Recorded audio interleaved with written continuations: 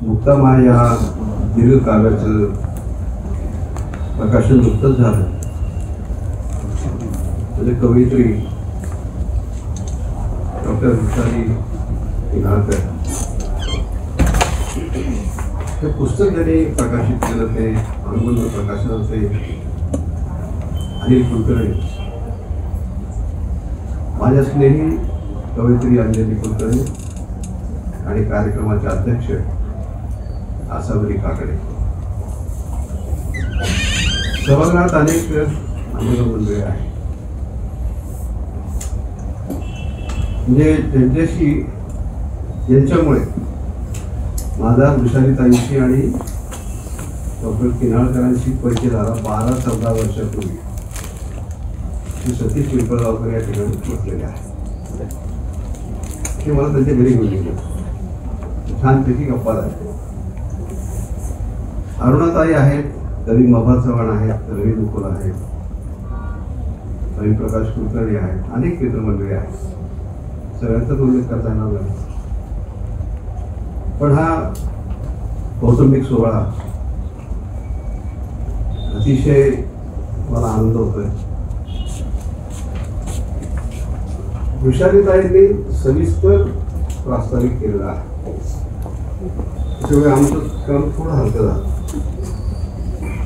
हे मुक्तामाय नेमक्या कोण आहे तुम्हाला सगळ्यांना लक्षात आहे. त्याची पार्श्वभूमी त्यांनी कशी माहिती आहे? आणि हा कविता संग्रह वाचत असताना माझ्या मनामध्ये अशा संमिश्र भावना म्हणजे एक व्यक्ती तिला वैद्यकीय शास्त्राची पार्श्वभूमी आहे. आणि दुसरी व्यक्ती ही निरक्षर आहे. पण मन कनवळू आहे. आणि या दोघींचा व्यवहार संवाद त्या कवितेतून असं उलगडत जात. दोन टोकावर उभी असलेली दोन व्यक्तिमत्व आहेत. ते एका व्यक्तीजवळ एक संपन्न आयुष्य आहे प्रतिष्ठा आहे लौकिक आहे. दुसऱ्या व्यक्तीकडे यातलं काहीच नाही. तरी देखील एक संवाद होतो. आणि आत्यंतिक तीव्र संवेदनशीलता असल्याशिवाय ही गोष्ट शक्य नाही डॉक्टर अनेक असतात निष्णात असतात. संवेदनशील पण असतात. पण ही कविता वाचताना मला असं लक्षात आलं की तुमच्याजवळ एक माणूस समजून घेण्याची आज जर असेल ना आतून तर मग असं काहीतरी लिहिलं जातं. आणि आपल्याला वाचायला म्हणजे तुम्ही जसं म्हटलं विचारित तुम्ही त्या मुक्ता मायकडून बरंच काही शिका. त्या कविता संग्रह वाचताना मला बऱ्याच गोष्टी कळत गेल्या. आणि त्या ओळी वाचताना माझ्या मनात जे प्रश्न निर्माण व्हायचे तशी उत्तर मला पुढच्या पानात मिळाली. तर मला असं वाटत की मी जरा बऱ्याच दिशेने वाचतोय. हे मला जमतंय वाचायला विचार करायला. तर प्रश्न पडतोय त्याचं उत्तर पुढे मिळतंय. आणि मग हे पुस्तक वाचता वाचता माझ्या असं लक्षात आलं की हे मला एका बैठकीत वाचता येत नाही. मी ते नाही वाचू शकलो एका बैठकीत मी थांबून थांबून वाचायचं. तर मन भरून यायचं मन भरून यायचं आणि असं वाटत की थोड्या वेळाने आपण वाचू. नंतर वाचू.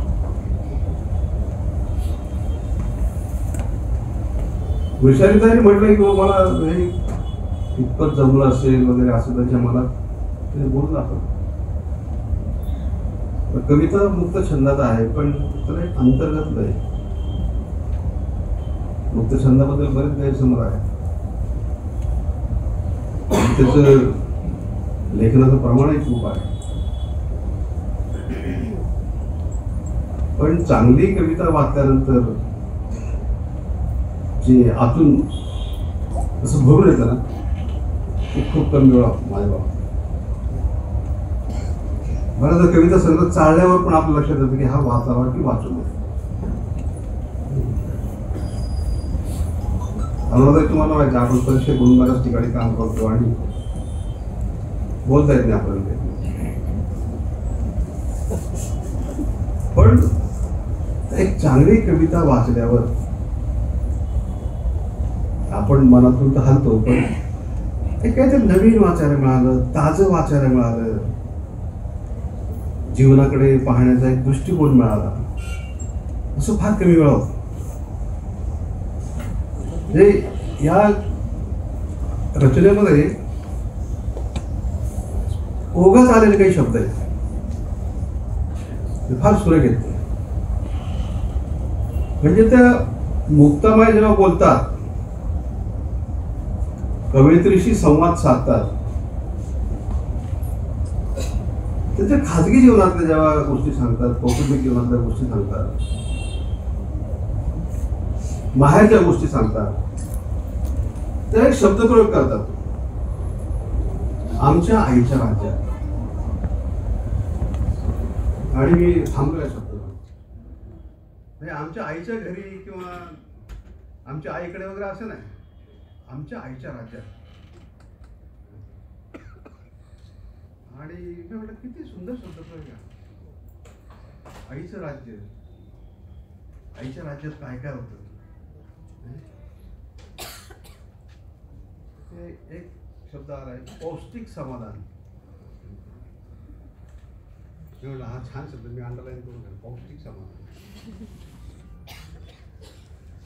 हृदयस्थ धवलता. हृदयाचं हृदयाचं सुखरूपण किंवा गडद स्तब्ध दिवस. म्हणजे ती मुक्तामाई गेल्यानंतर ताई गेल्या विधी वगैरे झाले आणि परतताना तरी लिहिलंय की ते गेल्यानंतर जे गडद स्तब्ध दिवस होते त्या दिवसात गावातल्या कोणत्याही कुटुंबाने सण साजरा केला नाही. म्हणजे काही शिक्षक असतात ना तर ते शिक्षक म्हणून नोकरी करतात. वर्गात शिकवतात. पण ते लोकशिक्षक कधी होतात हे पण त्यांना कळत नाही. अशी उदाहरणं कमी असतील पण आहेत. ते वर्गापुरते मर्यादित नाही राहत. ते लोकांचे शिक्षक समाजाचे शिक्षक होत हे ज्या मुक्तमा आहेत ना ही समाजाचं कार्य करणारे सेवा करणारे. काय केमिस्ट्री असते काय कळायला मार्ग आहे? ते कशी जडणघडण झाली असलेल्या लोकांची? आपण दिगमुडून जातो आणि ते डॉक्टर बरोबर सांगितलं की ही बाई दंतकथा होण्यापेक्षा हे मी सांगितलं पाहिजे. ती अशी एक जिवंत बाई होती.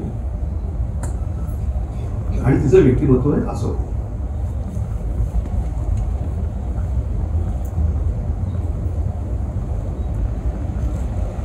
ती कविता वाचताना मला असं वाटत लागलं होतं की संत म्हणजे काय असतं? सज्जन म्हणजे काय असतं? असं मला वाटायला लागलं आणि पुढच्या पानावर ओळ आली मुक्तमाय संतत्वाच्या परिघावर. मगाशी तुम्हाला सांगितलं की माझ्या मनात जे येतंय ते पुढच्या पानात मी वाचतोय. हे संतत्वाच्या परिघावर वावरणारी ही आहे. आणि मग मी विचार करत असलो की हे हे व्यक्तिमत्व कसं आकारला आलं असं काय असं काय असेल?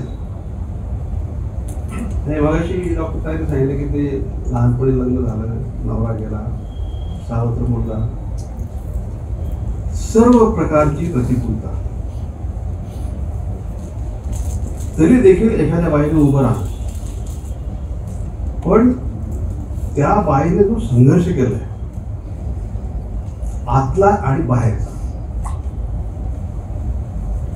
बाहेरचा संघर्ष साधारणतः इतरांना दिसतो. आतला दिसत नाही. आणि कोवळ्या वयात जिथं नुकतीच कुठं समज येते आहे त्या वयात एकटं असणं. ती बाई माहेराला राहू शकली असती असं म्हटलंय कवितेमध्ये. राहू शकली असती. नाही राहील. सासरी आहे. आपल्या त्या सावत्र मुलाला सांभाळ. आणि त्याच्यावर जे संस्कार झाले. कळत न कळत हे माणूसपणाचे संस्कार म्हणजे ही कविता वाचताना आम्हाला सारखं असं वाटायचं की कवयित्री ती मुक्तामाशी बोलते. संवाद करते. तिला जरा समजून घेते त्यांनी त्यांच्या निवेदनामध्ये म्हटलंय की मी एक दहा बारा वर्ष ही मुक्तामाय कागदावर कशी याचा प्रयत्न करत हे तर फार कठीण असतं. म्हणजे जे आपल्या अत्यंत जवळचे आहेत ते लोक गेल्यानंतर त्यांना कागदावर आणणं. हे तर दमचाक करणार असतं त्रास देणार असतं. पण तरी देखील ज्या पद्धतीने ही कविता अशी प्रवाहित होत जाते अंतर्गत लय पकडत जाते आणि ती भिडत जाते आणि भिनत जाते ते कविता भिन्न जे असतं ना ते या सगळ्यामध्ये अनुभवत आहे मगाशी मी जे म्हणतो की मी थांबून जायचो. तर जरा वेळाने वाचतो आपण. तर ते भिनले पण जे असतं ते आपल्याला तसं करायला भाग पडतं. त्यातल्या काही ओळी वाचायचा मला मोह होतो. त्या वाचल्या पाहिजे तर अधिक आपल्याला कविता समजून घेते मग अशी डॉक्टर ताईने सांगितलं की ते कशा पद्धतीने सगळ्या महिलांची काळजी घ्यायची मॅडम त्या रेखाला बघा जरा. दोन वरील झालेत लग्न होऊन अजून दिवस देणार आहे किंवा आणत्या रूपाला बी आणते बघा उद्याच्या नववा आहे तिचा महिना. मॅडम पर्याय बाईला पोट दुखल्यावर चालावं का एक बार सोनोग्राफी करून घ्या कवयित्री म्हणते हे या बाईचं नामस्मरण होत. हे नामस्मरण काय असू शकतं? म्हणजे पूजा काय असू शकते? एका ठिकाणी असं म्हटलंय तू एकदा म्हणाली होतीस कुणाला कवाबी मागू नये काही? मागलं की जीव मिंदा होते. जे लिवलंच नाही सटविलं कपाळावर त्याचा उग घोषा घेऊ नये.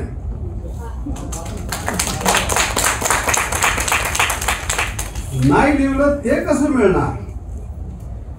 कशा इतका त्रास करून घ्यावा उगी एखादी गोष्ट नाही मिळाली तर काय बंद पडतंय का?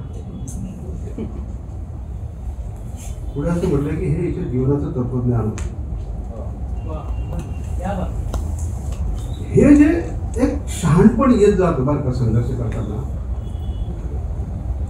तर तो ज्याला शहाणपण येतो तो पण त्याची पण जडण घडत होते आणि तो इतरांना पण काही शिकवत जात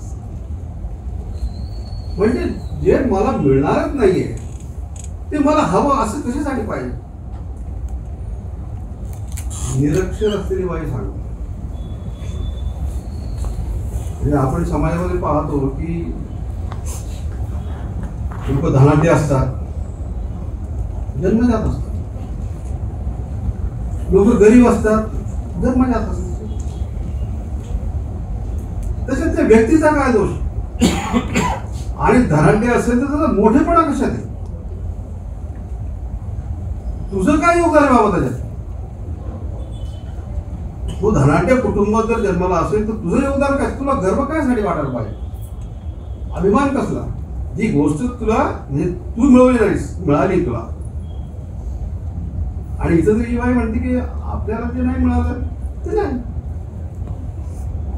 म्हणजे तुझं शहाणपण जे आहे ती या बाईजवळ आहे.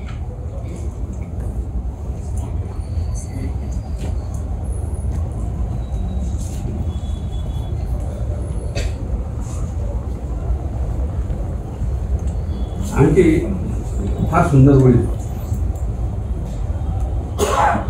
त्या मुक्तामा एका ठिकाणी म्हणतात आपण काय काय केलं ते सांगू सांगत जाऊ नये. आपण काय काय केलं ते सांगत जाऊ नये. सांगण्यानं समजा मातीत जात बाईचा जलमच गदळ आहे. देव तसाच धाडून देते तिला वरून. आडलेल्या बाईला मोकळं करणं आपलं कामच आहे घिसाड्याची राहो का बुद्धाची? इथून तिथून समजी बाई एकच आहे. त्यांना काय एखादा आवाज जास्त असतं काय एखादा कमी असते बाई इथून तिथून सारखी आहे. आणि बाईच्या वेदनेशी तिचं जे दुःख आहे ते आपण समजून घेतलं पाहिजे. कवितेने एका ठिकाणी म्हटलंय मुक्तामाशी बोलताना तक्रार हा शब्द तुला ठाऊकच नव्हता का ग? तुझ्या तारुण्यात तुझी माझी भेट नाही झाली पण जवानीचं भूत दहा वरीस राहतंय. एवढं आकळलं की मग काय घोर नाही. हे तुझं वाक्य माझ्या कानात होत आहे. म्हणजे कवयित्रीच्या मनामध्ये एक नैसर्गिक प्रश्न आलेला आहे.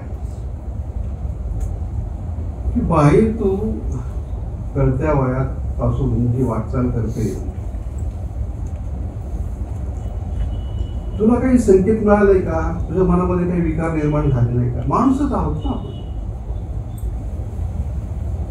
तुझ्या भावना तू कशा सांभाळल्या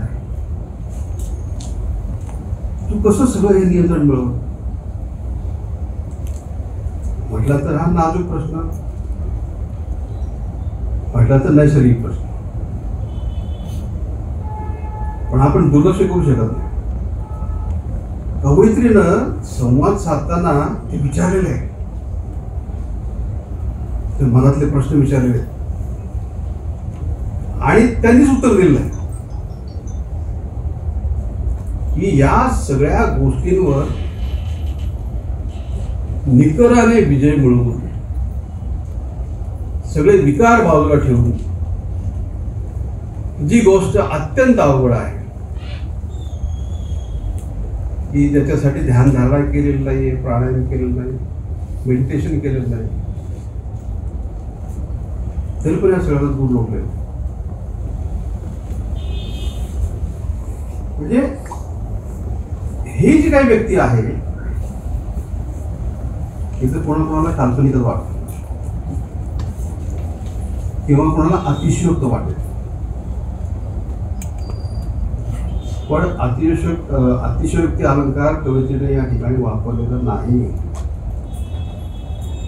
वास्तवाचं चित्रण त्यांनी केलेलं आहे. आणि ते चित्रण करता करत असताना तसं निरीक्षण करताय हे चार ओळी अशा आहेत बघा. तू मिटून गेलीस. तू मिटून गेलीस. त्या अंधारा सकट त्या पोकळी सकट कायमचीच. मादी न होता तू माता झालीस. सगळ्या जगाचीच माता राहिली. आमरण. मादी नाही झाली माता झाली त्यांनी मला अशी प्रास्ताविक करताना सांगितलं की स्त्रीत्वाचे जे सोहळे असतात विसर्जन असतात. ते नाही अनुभवता उत्तम आहे. पण वास्तव असं कळलं की त्यांनी काही फरक पण पडला नाही. म्हणजे जगायचं कसं? तर मुक्त माणसा विचार करायचा कसा? तर मुक्त माणसा अवघड आहे. पण मग असं कोणीतरी आपल्यासमोर आहे बरं का? असं कोणीतरी जगतं ना आणि आपण थोडस प्रयत्न करायला काय हरकत ते हे किमान विचाराच्या पातळीवर करायला काय हरकत नाही? आणि विचाराच्या पातळीवर जरी केला तरी मला असं वाटतंय समाधान आपल्याला मिळू शकतं. ते एक त्या कवितेमध्ये एक धाब्याचा प्रसंग आहे. धाब्याचं वर्णन. एसटीने मुक्तामाय चाललेली आहे आणि तिची सहप्रवासी अवघडलेली आहे. तिचे दिवस भरत आहे आणि ती वेदनेने असह्य झालेली मुक्ताबाईला कंडक्टरला गाडी थांबवायला सांगितली. उजेड पाहून गाडी थांबव. आणि धाब्याजवळ गाडी थांब. तिथे धाब्याच्या मालकाला म्हटलं की तुझं गिरायक बाहेर काढ. जरा आडोस करून दे. तुला काय काळ काळ करायला लागला तर म्हणजे तुझ्या माय बहिणीवर पण असा प्रसंग आला असेल ना. तरी केली व्यवस्था. तिथे ते वाईटची सुटका केली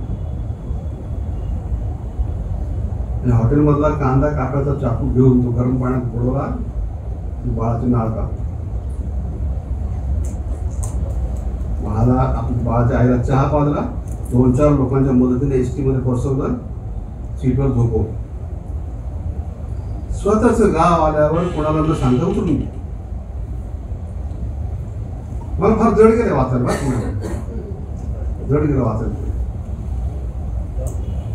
कारण कोणीतरी केवळ कल्पनेनंच हे करू शकतो.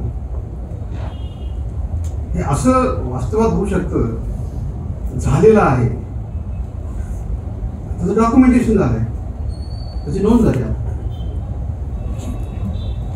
म्हणजे आपल्या घरातली सोनी गाय की ज्या गायने त्या बाईला पाडलं. तर त्या गायला पण दोष देत नाहीत. हे मगाशी प्रास्ताविकात डॉक्टर ताईने सांगितलं नाही की ते गुरु म्हणा रोक्त म्हणा शेत म्हणा वृक्ष म्हणा सगळ्यांवर माया करायची. ती सोनी गाय एकटी आहे. ती माझ्यावर आलेली आहे. तिला गोऱ्याला भेटवलं पाहिजे. हे तुझ्या लक्षात आलं.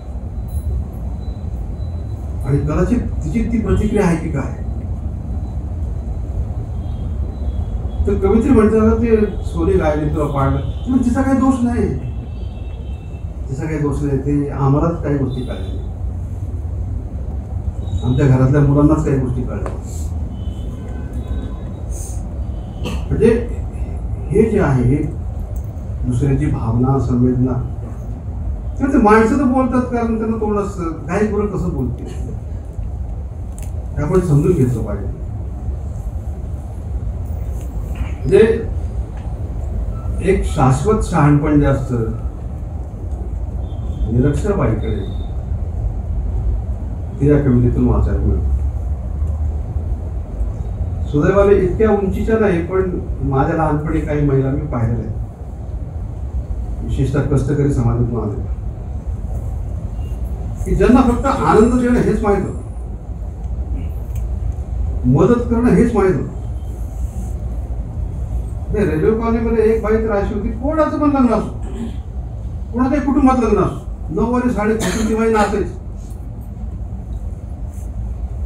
सगळ्या बाहेर जवळ वाटत काय संबंध नाही. गल्लीतलं लग्न नाही. आनंद देणं. मला ती गोष्ट आठवली वाचताना. म्हणजे एखाद्याला चांगला म्हणणं आनंद देणं समाधान देणं हे तसं सोपं आहे आणि म्हटलं तर आवड पण आहे. पण हे वाचताना असं वाटतं हे खूप सोपं आहे हो. हे आपल्याला पण जमायला पाहिजे करता आलं पाहिजे ते लौकिक अर्थानं मुक्तामाय मोठी नाही पण हे गावामध्ये सगळ्यात उंच आहे आणि अनुकरणीय भिंती ती गेल्यावर सगळं गाव लोटत. बाया ऊर बडून रडतात याच्यावर आपलं लक्ष देतं की ते किती मोठे पडत सुद्धा पाहिजे मग म्हटलं ना की माझं मन भरून आलं वाचणाऱ्याचं मन भरून येतं. लिहिणाऱ्याची काय अवस्था असते? जेव्हा कागदावर आणत असतील त्या मी केवळ कल्पना केली की ते दमशाक करणार. आहे पण ते केलं त्यांनी. आणि खूप चांगली कविता दीर्घ कविता मराठीत लिहिते. म्हणजे दीर्घ काव्याचा इतिहास जेव्हा लिहिला जाईल मराठी वाङ्मयात तेव्हा या दीर्घ काव्याची ठळक आणि सुस्पष्ट नोंद होईल तुम्हाला.